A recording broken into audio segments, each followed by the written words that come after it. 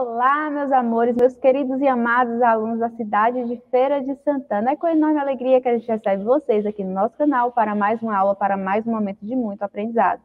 Eu sou a professora Mirth e hoje nós teremos aula de Matemática e Ciências da Natureza. Vamos à aula? Na aula passada é, de Matemática e Ciências da Natureza, nós estudamos um pouquinho, exploramos um pouco sobre o mosaico, né? Nós conhecemos aí um pouquinho da história e como é que é, a gente pode fazer uma arte utilizando um mosaico, onde a gente acaba por é, utilizar formas geométricas para formar figuras representativas ou então figuras abstratas. E hoje a gente vai explorar um pouquinho mais das figuras planas através do mosaico. Dando sequência ao trabalho com o mosaico, vou contar para vocês uma história sobre um rei muito estranho que tinha uma mania de simetria. Ou seja, ele gostava de andar vendo o reflexo das coisas como se fosse um espelho. E aí vocês vão compreender o que, que é simetria. Um rei muito estranho. Era uma vez, muito tempo atrás, em um reino distante, um rei muito exigente. Por onde passava, ele exigia que dos dois lados do caminho deviam ser exatamente o mesmo do outro um lado tinha que ser igual ao outro.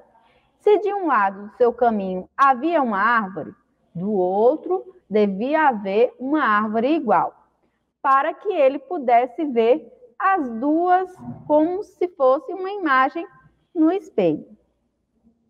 Hoje vocês irão construir este caminho do rei utilizando peças de mosaico. Para isso, nós teremos que estudar alguns conceitos matemáticos para que vocês possam construir essa obra de arte, certo? Vocês vão construir o caminho que, do, do rei, utilizando aí as peças do mosaico, do mosaico em forma simétrica. Só que para vocês fazerem isso, vocês têm que entender né, o que, que seria essa simetria. Por isso, faz-se necessário a gente estudar alguns conceitos matemáticos. Observe esse lindo mosaico de figuras planas coloridas. Você sabe me dizer quantos são os triângulos? Quantos são os triângulos que estão presentes aqui? Olha só, vamos lá. Um, dois, três, quatro, cinco, seis, sete, oito, nove, dez. Esse outro, dependendo se tiver um corte no meio, pode ser mais dois aqui, formando 12. Aqui nós temos um que poderia formar 13, né? Quantos são os polígonos de quatro lados aqui nessa figura? Nós temos aqui um quadrado, né? Aqui a gente tem um trapézio, dois, né? Já duas figuras que têm aí quatro lados. Aqui, esses dois triângulos, eles podem formar um paralelogramo também, que seria um quadrado a mais, né? E a própria, o próprio quadro aqui também é um polígono de quatro lados. Quantos são os polígonos de cinco lados e com seis lados? Nós temos de cinco lados. Ó, de seis lados nós temos esse aqui, ó, o de amarelo, né? Que tem aqui seis lados, é um hexágono. E de cinco lados, tem alguns cinco lados? Olha só, um, dois, três, quatro, cinco. A gente tem essa figura aqui que tem cinco lados. Aqui nós temos um, dois, três, quatro, cinco, seis, sete lados, uma figura de sete lados. Conhecemos como figura plana qualquer figura que possui duas dimensões, que a gente vai chamar de bidimensional. Todas as figuras bidimensionais são figuras planas, vão ter apenas duas dimensões. Que dimensões são essas? Elas vão ter a largura e o comprimento. Só vão ter duas dimensões. No caso das figuras tridimensionais, são os sólidos geométricos, certo? Ou as figuras chamadas também de figuras espaciais, que aí, além de ter a largura e o comprimento, vão ter também a profundidade, certo? E aí, neste caso, se trata de uma figura plana. É, plana não, espacial. As planas só têm duas dimensões, largura e comprimento, certo? Estamos cercados de figuras planas, como quadrados, círculos, triângulos, entre outras formas. Observe aí na sua casa é, as figuras que vocês veem aí Por exemplo, a TV, a TV, ela pode ser retangular, é, vocês podem analisar a luminária. Tem gente que tem uma luminária que parece um pratinho, né? Aí a gente tem uma outra figura plana, que é o círculo. É, a mesa, que pode ser quadrada, retangular, ou pode ser também formato ali de um círculo. Então, no, no nosso dia a dia, nós estamos cercados por essas figuras planas. As figuras planas, elas estão presentes a todo instante no nosso cotidiano. Ao observarmos o espaço à nossa volta, nós conseguimos perceber, observar várias formas: a porta da sua casa, a janela da sua casa, a porta do armário, a geladeira. A gente consegue observar a, o próprio azulejo, a cerâmica, né? Em vários locais, à nossa volta, a gente vê constantemente essas figuras planas, né? Quando são bidimensionais, elas são conhecidas como figuras planas. Quando elas são tridimensionais, elas são figuras espaciais, certo? As principais figuras planas, né, que são aquelas figuras bidimensionais, onde tem apenas altura e largura, né, no caso, a, a comprimento e largura, vamos dizer assim, são triângulo, que é uma figura que tem três lados, três vértices, a gente já estudou sobre isso, né? É, quadrado, onde a gente vai ter aqui figuras de quatro lados, retângulo, onde a gente tem uma figura também de quatro lados, que vai se diferenciar do quadrado por possuir dois lados da mesma medida, né? A cada dois lados, dois pares de lados com a mesma medida. Nós temos o círculo, o losango, que também é um quadrilátero, né? Ele se assemelha ao quadrado, apenas a sua posição que é diferente. O paralelogramo, que também é um quadrilátero. O trapézio, né? que também é um outro tipo de quadrilátero. Essas são as principais figuras planas: triângulo, quadrado, retângulo, círculo, losango, paralelogramo e o trapézio. E simetria, o que é simetria? Para que vocês possam compreender um pouquinho mais do que é simetria, eu trouxe aqui um pequeno vídeo aí e após ele a gente vai comentar, falar um pouquinho mais, aprofundar um pouquinho mais sobre esse assunto, certo? Quais das figuras têm simetria? Para responder a isso, primeiro precisamos saber o que significa dizer que uma figura tem simetria. Podemos dizer que uma figura tem simetria quando nela há pelo menos um eixo de simetria. Mas essa resposta não nos ajuda se não soubermos o que é um eixo de simetria. Então vamos lá. Um eixo de simetria é uma reta sobre a qual podemos dobrar a figura de maneira que as duas metades que conseguirmos se encaixem perfeitamente. Vamos olhar um exemplo. Vou desenhar aqui um círculo, vou desenhar uma reta aqui atravessando o círculo, por exemplo, nesta posição, estou fazendo pontilhada. Esta reta seria um eixo de simetria. Se eu pudesse dobrar a figura sobre ela de modo que a parte de cima se encaixe perfeitamente aqui na parte de baixo. Vamos tomar, por exemplo, esta parte aqui de cima, e se eu dobrasse a figura bem sobre a reta que eu tracei, trazendo esta parte de cima para baixo, estou fazendo uma dobra ali naquela reta, essa parte de cima encaixaria perfeitamente na parte de baixo, ou seja, elas iriam se sobrepor perfeitamente. Se eu dobrar a parte de cima pela reta que eu desenhei, eu teria algo como isto aqui. E você pode ver que este pedaço de cima, ao dobrar para baixo, não se encaixa perfeitamente cobrindo a parte de baixo. Então, esta reta que eu desenhei não é um eixo de simetria. Vamos tentar uma outra reta e eu vou tentar desenhar aqui uma reta passando pelo centro do círculo. Agora, se eu dobrar uma das partes nas quais o círculo ficou dividido e for sobrepor na outra metade, elas vão se sobrepor perfeitamente? Por exemplo, aqui o lado esquerdo dobrando para o lado direito, eles vão se encaixar perfeitamente. Isso significa então que esta reta é sim um eixo de simetria. E pelo fato de que podemos conseguir desenhar um eixo de simetria pelo nosso círculo, significa que o nosso círculo tem simetria por esse eixo. E observe que os círculos têm muitos, muitos, muitos eixos de simetria. Vamos agora voltar às figuras que nós estávamos estudando para verificar se elas têm simetria. Vamos começar, por exemplo, pelo triângulo, Vou traçar aqui uma reta que aparentemente divide o triângulo ao meio, e eu verificaria que este pedaço deste lado, ao dobrar, iria encaixar perfeitamente no outro lado. Mas esta outra parte aqui, ao dobrar sobre o eixo de simetria, criaria algo assim. E não conseguimos encaixar perfeitamente uma metade na outra, então esta reta não é um eixo de simetria. E a mesma coisa aconteceria com qualquer linha vertical que eu usasse para cortar o triângulo, então posso tentar com alguma reta horizontal. Seguindo o mesmo raciocínio, vemos que qualquer linha horizontal que eu traçar aqui cortando o triângulo não vai fazer com que tenhamos simetria. Talvez o que nos sobra é tentar traçar uma reta passando pelo vértice do triângulo.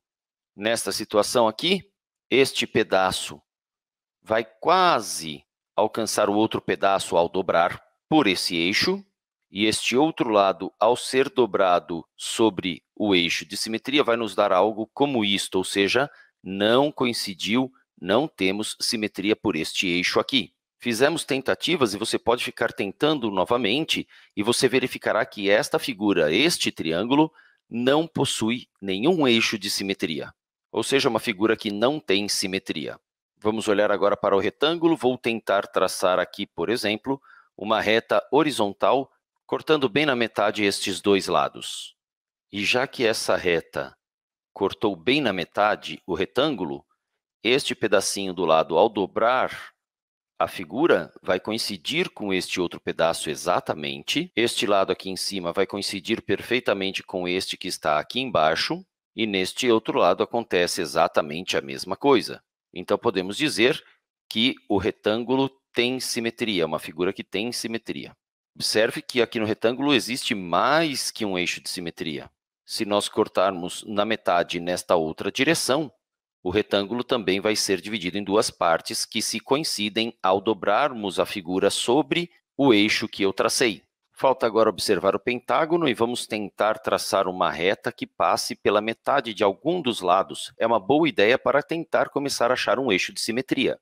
Vou traçar uma reta que passe pela metade desse lado aqui embaixo, portanto, por este vértice aqui de cima. Ao dobrar a figura sobre essa reta, este lado vai coincidir com este, este outro lado coincide com o outro ali, e a metade deste lado aqui vai coincidir com a outra metade, de maneira que as duas partes se encaixam perfeitamente na dobra. Então, existe o eixo de simetria, existe simetria para este pentágono. E tal como o retângulo, existe mais de um eixo de simetria para o pentágono. Poderia desenhar outro aqui, mais um aqui, outro aqui. Existem, então, cinco eixos de simetria para o pentágono, mas desde que ele tivesse apenas um, ou pelo menos um, já poderíamos dizer que tem simetria no pentágono.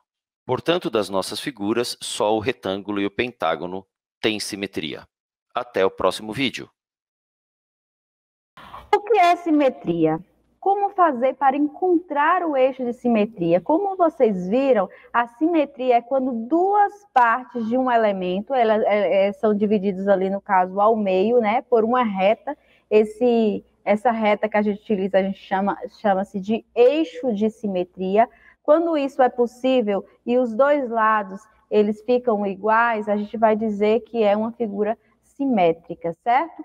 E como é que a gente faz para encontrar o eixo de simetria. Dependendo da figura, a gente pode dobrar essa figura ao meio, pode dividir ao meio, a gente pode traçar uma reta para que a gente verifique se é, os dois lados são iguais, né? Formando como se fosse um espelho, né?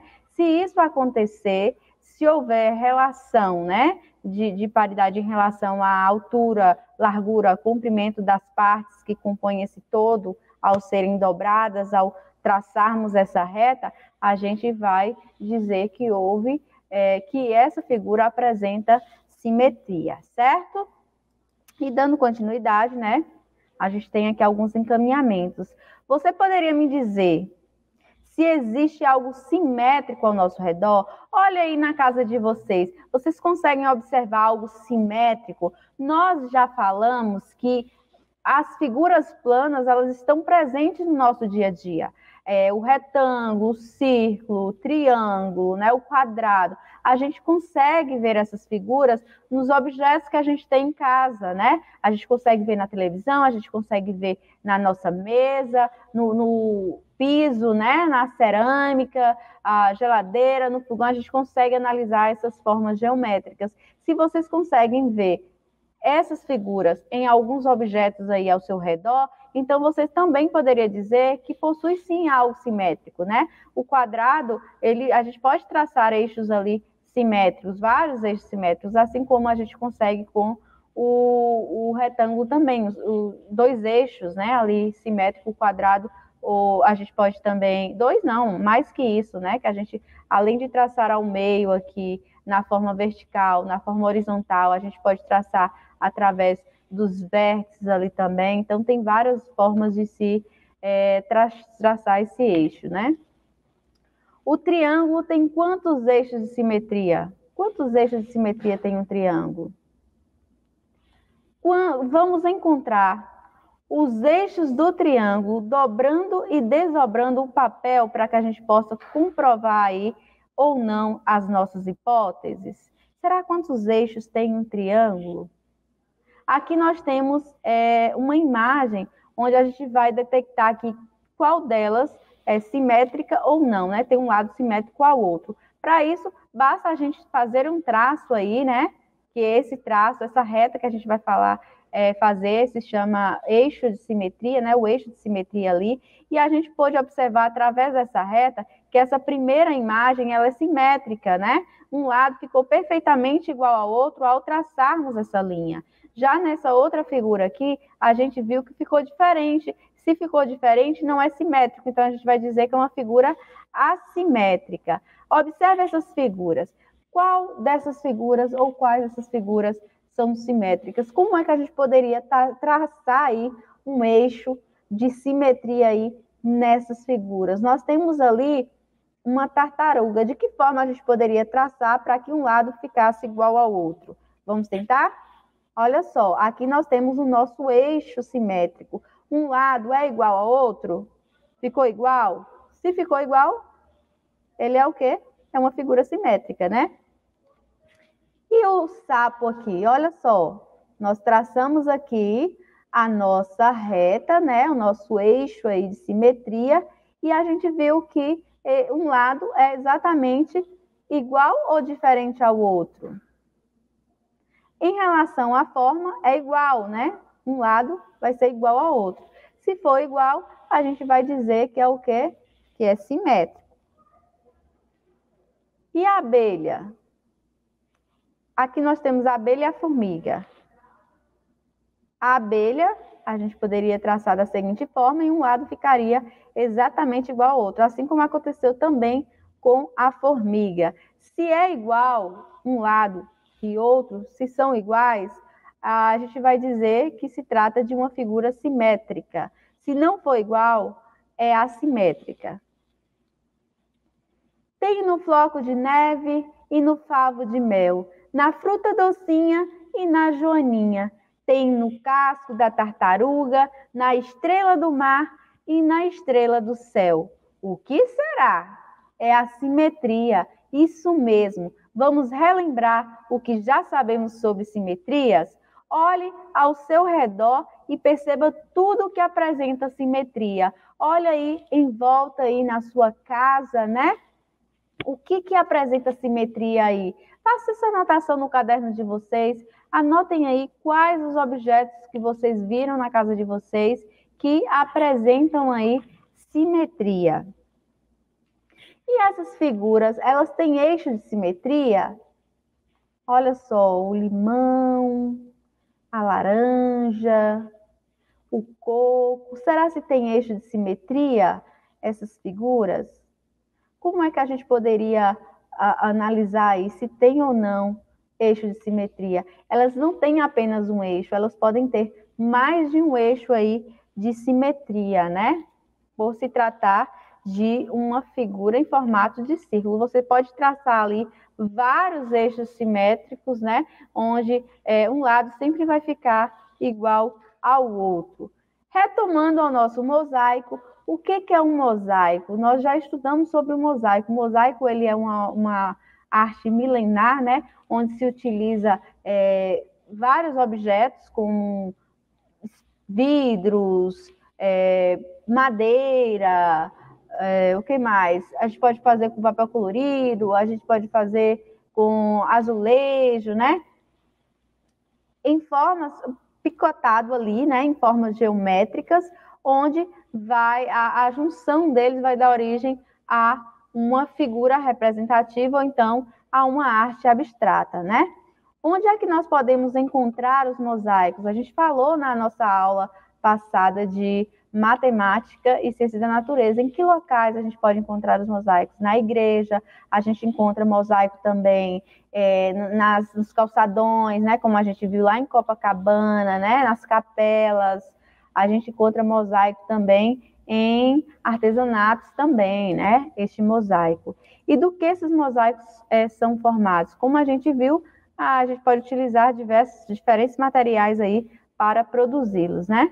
Os mosaicos, eles são formados por formas planas. As formas planas, elas precisam ser reunidas, né, unidas ali, pensando nos formatos, pensando nas cores, para tornar uma união simétrica. Aqui nós temos, por exemplo, uma, um mosaico, né, utilizando a forma geométrica retângulo, e a, a, a, o que a gente fez de diferente aqui foi o que? A disposição das cores, né? A gente foi alternando essas cores aí, de forma que é, há uma união simétrica aí nessa arte. Olha só, que legal! Relembramos tantas coisas sobre simetria e agora nós vamos ver um tipo especial de simetria. Imagine que a figura de cima ela foi refletida na água parada ou está refletida no espelho. Olha só, da mesma forma que a gente tinha essa imagem aqui acima, é, foi pintada essa imagem abaixo. Então, a gente vai fazer a imagem como se fosse um espelho. Quando você é, coloca o espelho ali deitado, você pega um celular ou, ou pega um copo, é, no espelho vai ficar sempre do fundo do copo, né? A sombra ali, ali no, no a marca no espelho, do, da base do copo, que está ali em cima, é, para a parte superior. Da mesma forma, a gente vai fazer simetria dessa forma. Aqui, a nossa base é amarelo e verde. Então, aqui nós temos que ter o amarelo e o verde, porque se fosse colocado no espelho, seria visto dessa forma, ou então se fosse refletido na água. Após isso, é que a gente vai pintar o azul e o vermelho, sempre do fundinho aqui, ó, do final para o início, certo? Agora, tentem fazer essa figura aí na casa de vocês, certo? Pega uma folha quadriculada, pode pegar a régua lá, ó, fazer vários traços aí para que a gente tenha essa folha quadriculada. Vocês vão desenhar essa figura, né? Que é um losango. E depois vocês vão pintar ao seu jeito, certo? Pinte essa figura do modo que forme um mosaico geométrico e simétrico. Para começar, trace o eixo de simetria. A gente tem que traçar o eixo de simetria e depois a gente vai pintando um, um lado igual ao outro. Se o eixo de simetria for aqui na vertical, esse lado tem que ser igual a esse. Se for na horizontal, a parte superior tem que ser igual à inferior, certo? É, e após isso, vocês vão utilizar o que para poder fazer essa pintura? É, para fazer seu mosaico, vocês deverão utilizar as figuras planas, que é o triângulo, né? Aqui nós temos esse, essa imagem aqui, que é um, um trapézio, e o quadrado. Então, vocês vão utilizar essas figuras para poder fazer aí o seu mosaico, né? E construir um mosaico simétrico, né? E harmônico aí. E após vocês fazerem isso, lembra da, lá do início da aula que a gente falou sobre a história do rei, que o rei ele, gost, ele era estranho, tinha uns gostos estranhos, ele gostava de caminhar em caminhos é, que eram simétricos, né? Um lado tinha que ser igual ao outro. Vocês vão fazer também esse caminho do rei, sendo que um lado, o que tem em um lado, sempre tem que ter do outro lado, certo? Vocês vão fazer isso aí Se puderem tirar foto, tirem foto, poste nas redes sociais, marque a Seduc de Feira de Santana para que a gente possa apreciar aí a arte de vocês, certo? Nas redes sociais também das escolas de vocês, caso elas tenham, para que um público maior venha apreciar a sua arte. Certo, gente? Eu espero que vocês tenham compreendido direitinho.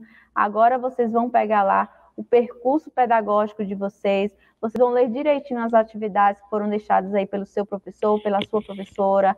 A parte de orientações é muito importante que vocês façam essa leitura e vão realizar essa atividade com muito cuidado, com muito capricho, com muito amor, que essas atividades deverão ser devolvidas às escolas de vocês.